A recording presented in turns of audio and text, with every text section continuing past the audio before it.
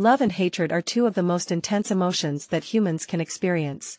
They are often seen as opposites, but they can also be closely related. One way that love and hatred are related is that they are both often directed at people we care deeply about. When we love someone, we are invested in their well-being and happiness. When we hate someone, we may feel the opposite way. We may wish them harm or see them as a threat. Another way that love and hatred are related is that they can both be triggered by the same events. For example, if someone we love betrays us, we may feel both love and hatred for them at the same time. We may still love them, but we may also feel angry and resentful. Finally, love and hatred can also be related in terms of their intensity. Both emotions can be very powerful and can lead us to behave in ways that we would not normally do. For example, someone who loves someone deeply may be willing to do great things for them, even if it means putting themselves at risk. Someone who hates someone deeply may be willing to hurt them, even if it means breaking the law. Here are some specific examples of how love and hatred can be related. A parent may love their child deeply, but they may also hate the child's behavior when the child is disobedient. A romantic partner may love their partner deeply, but they may also hate the partner's infidelity.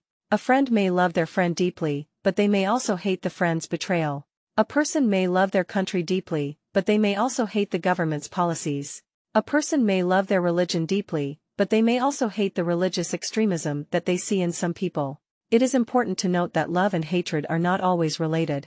It is possible to love someone without ever hating them, and vice versa. However, it is also true that love and hatred can coexist in the same person, and that they can both be triggered by the same events. Why is there a thin line between love and hate? One reason why there is a thin line between love and hate is that they are both very intense emotions. When we feel strongly about someone, whether it is love or hate, it can be difficult to control our emotions. Another reason why love and hate can be closely related is that they are both often based on the same things. For example, we may love someone because they are kind, caring, and supportive. However, if that person betrays us or hurts us, we may come to hate them for the same qualities that we once loved. How to manage the relationship between love and hate. If you are struggling to manage your feelings of love and hatred for someone, it is important to remember that you are not alone. Many people experience these complex emotions at some point in their lives. Here are some tips for managing the relationship between love and hate. Acknowledge your feelings. It is important to be honest with yourself about how you are feeling. Don't try to suppress or deny your emotions. Talk to someone you trust.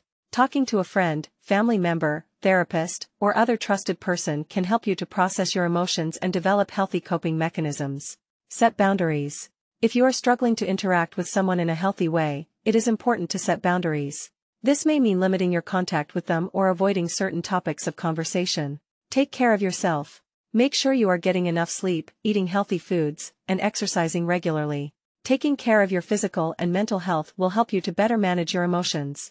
If you are struggling to manage your feelings of love and hatred for someone, it is important to seek professional help. A therapist can teach you how to understand and manage your emotions in a healthy way.